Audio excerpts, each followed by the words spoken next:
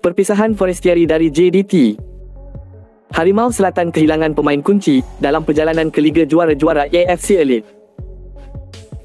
Sila langgan saluran ini supaya anda tidak terlepas berita terkini. Kelab Bola Sepak Johor Darul Tazim, JDT, baru-baru ini telah mengucapkan selamat tinggal kepada penyerang berbisa dari Argentina, Fernando Forestieri.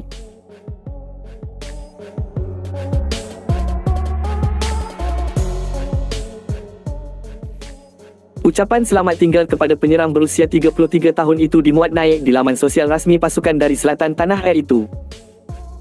Kelab Bola Sepak Johor Darul Tazim, JDT, ingin mengucapkan terima kasih kepada Fernando Forestieri atas sumbangannya kepada Harimau Selatan sejak menyertai kelab pada permulaan musim 2022. Penyerang ini adalah sebahagian daripada skuad Harimau Selatan yang mencipta sejarah memenangi double quadruple pada 2022 dan 2023. Beliau telah menjaringkan 47 gol dan 21 bantuan jaringan menerusi 69 penampilan dengan JDT, Selamat Maju Jaya, Forestieri.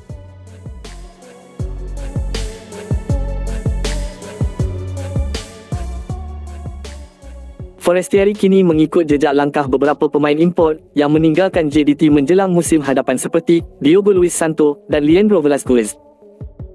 Selain melepaskan Forestieri, JDT juga sebelum ini melakukan kejutan selepas tidak meneruskan idmat ketua jurulatih mereka, Esteban Solari. JDT yang mengambil langkah penjimatan sebanyak 30 hingga 40% disebabkan keperluan untuk penstrukturan semula kewangan bagi memastikan kelangsungan jangka panjang kelab berkenaan.